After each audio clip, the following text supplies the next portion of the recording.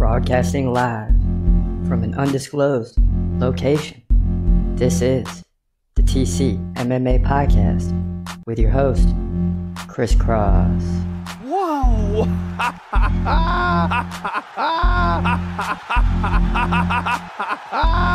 Dana White privilege. Let's go, baby!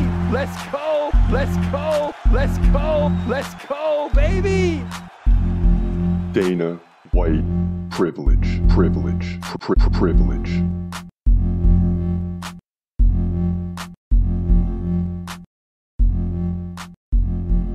Dana White's Contender Series is back for week three, and already eight UFC contracts handed out by Dana White. And you know, you figure there's what 10 weeks, five fights each week, 50 fights. We're going to see 35 to 40 fighters uh, land UFC contracts by the time it's all said and done. And every year about this time, the entire landscape changes. You have guys being cut from the UFC in order to make room for the new fighters that are being signed, and it's it's always uh, very interesting. But one thing I find the most interesting, one thing I do a lot, is I get onto Google and I just type in Dana White and I click the news button, and it's always some of the best articles because guys, Dana White's name is so big, guys are always coming after him. For example, Francis Ngannou disputes White's claim he ducked Jon Jones. Jake Paul, Dana White scared to co-promote and make Jon Jones versus Francis Ngannou. Right? So I mean, it's just up and down the board. Caio Borralho says he wants a meeting with President Dana White. You don't schedule a meeting with the president. The president schedules a meeting with you. That's how it works. So when I read these articles, I, I just die laughing. Who knows if Francis Ngannou ducked Jon Jones? We don't know. We just know the fight never happened. And it should have happened. And it would have been, you know, at, at the time, Jon Jones would have to fight Ngannou to get the belt. I don't know if he has a belt that he actually wants to fight him. Right? I mean, he wants to fight Stipe Miocic for crying out loud, who hasn't had a fight in what, two or three years? So who knows who ducked who? It's just interesting, the headlines. And Jake Paul saying, you know, Dana White doesn't want to co-promote the fight. He tried to promote the fight. He wanted it to happen. He couldn't get the guys to sign on the dotted line. Now you want him to, you know, the whole point of the UFC is that they're not trying to co-promote. We don't want to become boxing.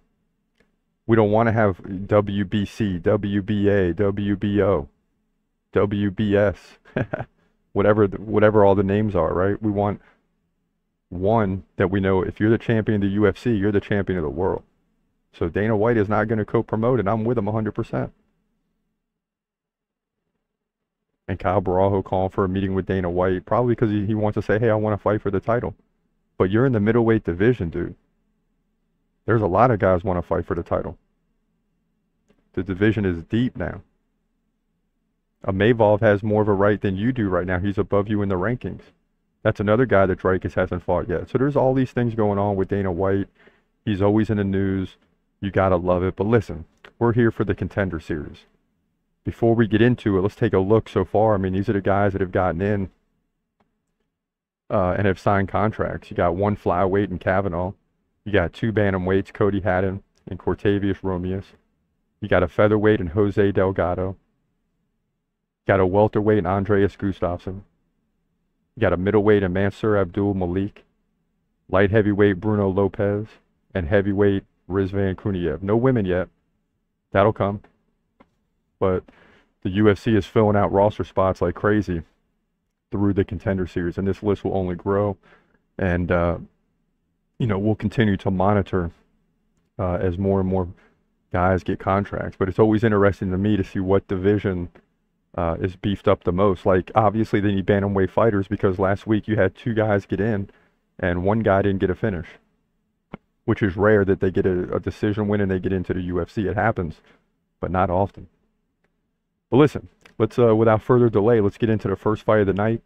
It's going to be a good one, right? You got flyweight division fighters. You already had one guy signed in this division.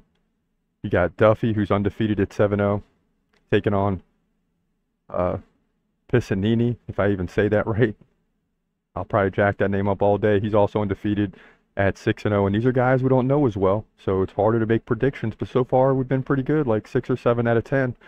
Uh, we'll take it. But let's get into Jack Duffy uh, versus his opponent right now in the flyweight division at Dana White's Contender Series. First fight of the night, week three. You got Jack Duffy taking on Nick Piccanini, if I said that right.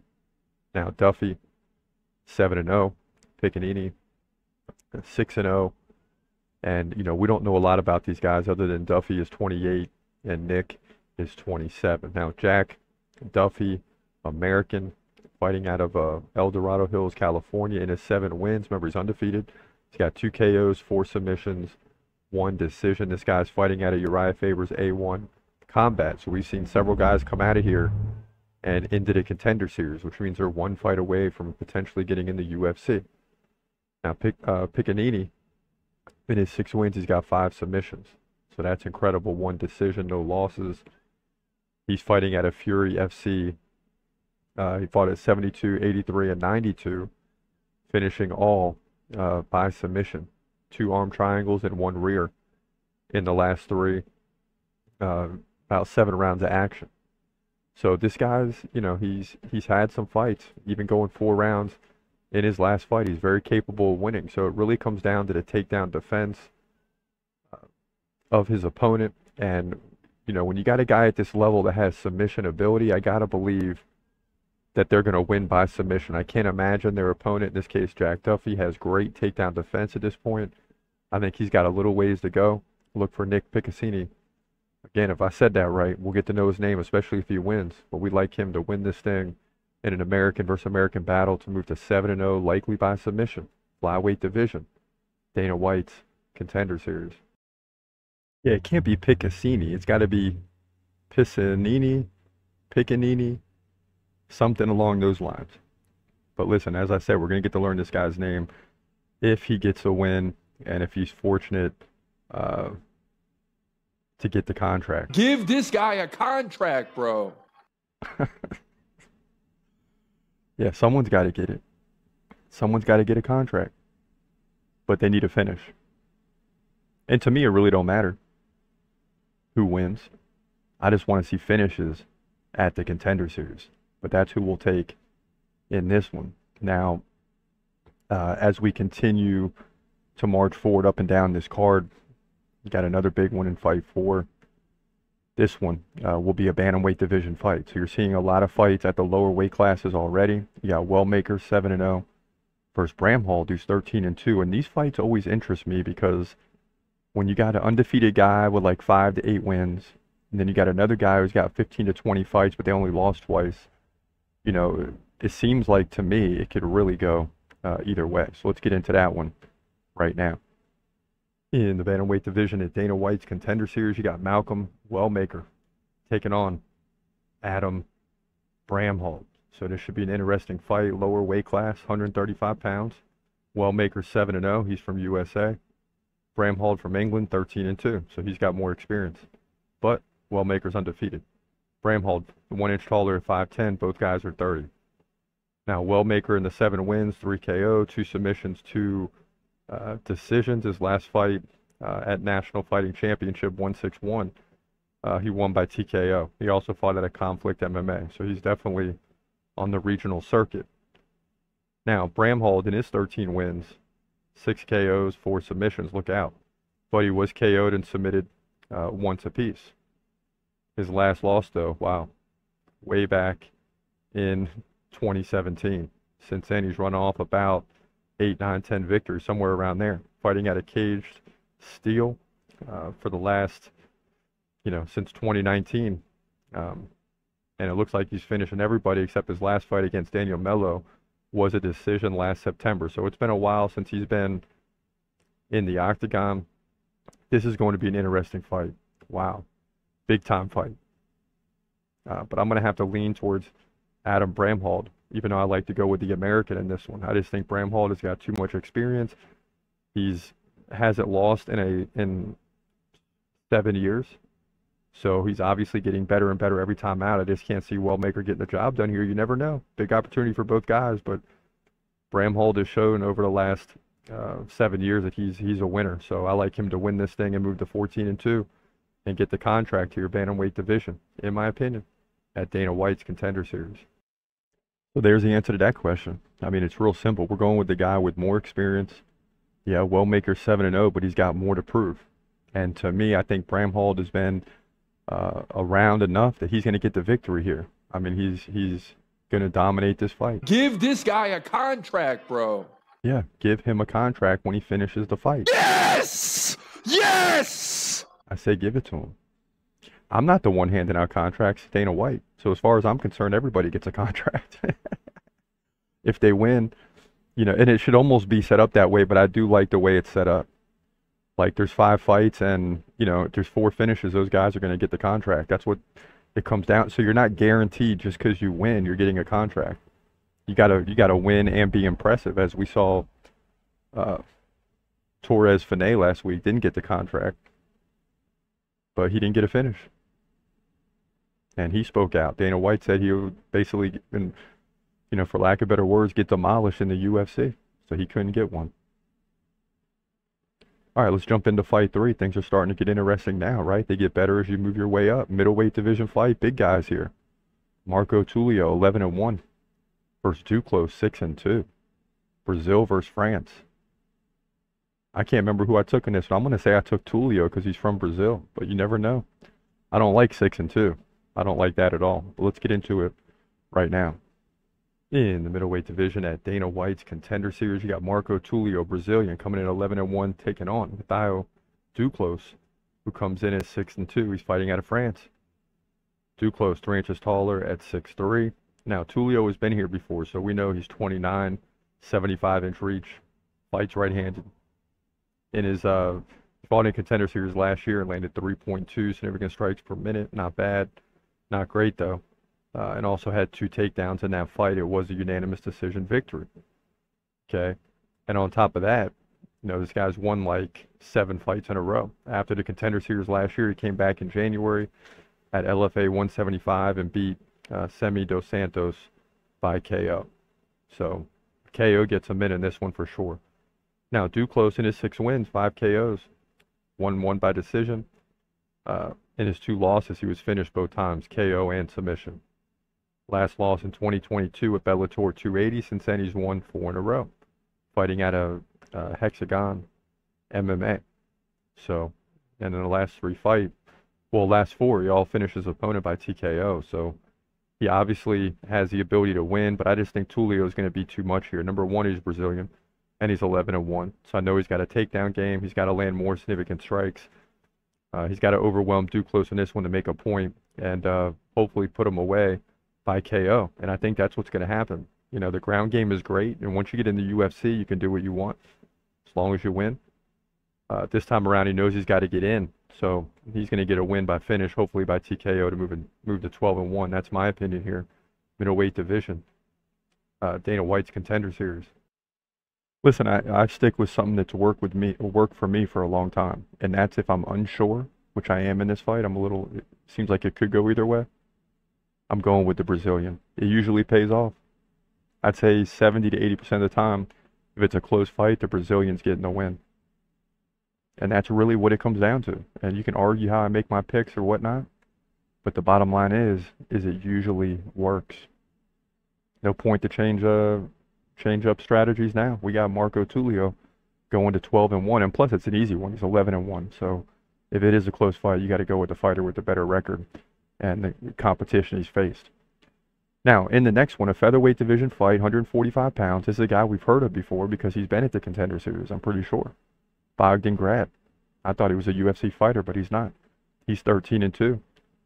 Taking on Michael Aswell, who's 9 and 1. So this is an interesting one, right? Austria versus USA, and Grad's got the experience fighting here before. So, you know, it's going to be a tough one. Let's get into it right now. In the featherweight division at Dana White's Contender Series, or co-main event, you got Bogdan Grad, a name we've heard before. He's been here before. Lost to Tom Nolan the first time out. Takes on Michael Aswell. So Grad, 13 and 2. Aswell 9 and 1. This is uh, Austria versus USA. Both guys five eight. Grad is 28, so he's in the prime window now. Aswell, just 23 years old. He's getting an early start. That's good. Both guys 70 inch reach. Now, in Grad's uh, lone fight, he landed just 1.5 significant strikes per minute. Not very good. But in 13 wins, he's got 8 KOs, 3 submissions, and 2 decisions. He did lose once by KO and once by uh, decision. Tom Nolan KO'd him last year uh, at the Contender Series. It's just over a year. But since then, he came back and won uh, two fights at CFS 14 and CFS 15. This is a place that he's used to fighting out of. So he just continues uh, to get more and more experience. Now, Aswell, on the other hand, is fighting out of Houston, Texas, and his nine wins, five KOs, four decisions. He lost once by decision. That was back in 2023. Since then, he's won two in a row.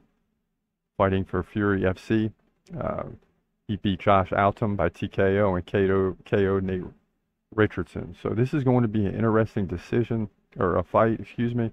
Um, I'm leaning towards Bogdan Grad uh, simply because he has the experience in this setting, right? He did it last year. Tom Nolan KO'd him. Well, Tom Nolan uh, is now fighting in the UFC. So that's why this guy gets another opportunity. And before that fight last year, he was 13 and 1, right? So if he can't win this one, he's likely not getting into the UFC. So I think Bogdan Grad is going to come in and pour his heart and soul into this fight. He knows he has to. I don't expect him to be careful. I expect him to go for it. But he's got to get better at striking. And if he's going to go in for takedowns, he's got to land them. So it's hard to say which one will work. I think he's got both angles if he chooses to take them. We'll see. But Bogdan Grad is going to win this fight just on sheer uh, experience to move to 14 and 2 here, in my opinion. Featherweight division.